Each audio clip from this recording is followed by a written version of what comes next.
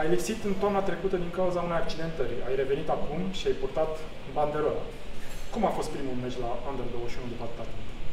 A fost, a fost o experiență foarte, foarte frumoasă. Am fost foarte fericit să, să fiu convocat uh, și în același timp uh, am fost foarte trist pentru perioada aceea, fiindcă n-am putut să joc fotbal. Mi-a fost uh, foarte greu, a fost prima mea accidentare mai, mai gravă și și fiind și capitan la primul meci după atâta timp la echipa națională, mi-a dat o mare, mare responsabilitate și încredere.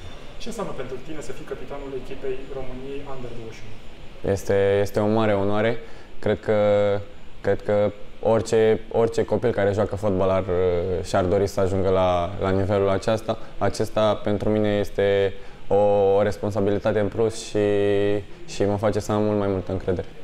Cum a fost să urmărești meciurile colegilor tăi la televizor? A fost greu, foarte greu. Eram foarte, foarte, foarte trist, dar în același timp eram cu, cu sufletul alături de ei. Eram foarte, foarte entuziasmat și, și îmi dădeam viața în fața televizorului. Adică, cum te comportai? Mm, eram, nu știu, pentru orice greșeală, pentru orice gol mă bucuram. Mă, eram ca și cum aș fi fost, fi fost cu ei acolo. E greu să fii suporterul echipei naționale la televizor. Da, din punctul meu de vedere este foarte greu. Atâta timp cât îți iubești atât de mult uh, țara și, și acest sport, nu ai, nu ai cum să, să fii indiferent. La Euro 2019, România Under 21 a avut parte de o susținere fantastică din partea suporterilor. Se repetă istoria și cu actuala generație? Sunt sigur că dacă vom face aceleași rezultate bune ca și, ca și anii trecuți, vom, vom avea, cred că, cred că vom avea Uh, parte de o susținere mult mai mare, fiindcă românii au văzut cum e să, să fie acolo, cum, cum e să trăiești aceste momente și cred că vor veni în număr mult mai mare. Se vorbește că la Naționala Under 21 sunteți o familie. Care e explicația? De ce sunteți atât de apropiați?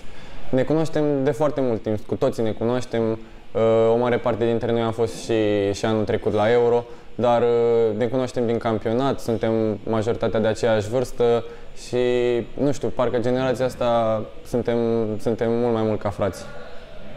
Antrenorul vostru vă cere să jucați cu inima.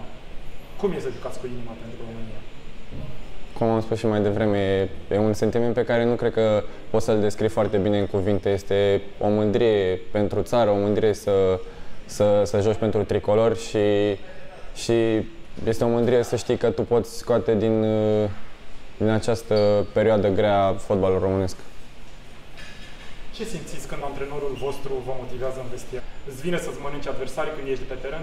Normal. Este o motivație în plus când îl, îl avem în fața noastră, știind ce jucător și ce lider a fost la, la echipa națională, cât a făcut pentru acest sport și pentru țara noastră și, și când îl avem în față și ne vorbește, parcă este un motiv în plus pentru a îi mânca pe adversari.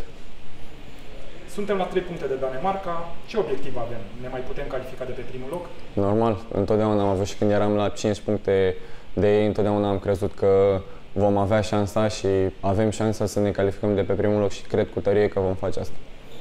Adrian Mutu, antrenorul vostru, v-a promis că vă face cinste. Cum ți-ai dori să o facă?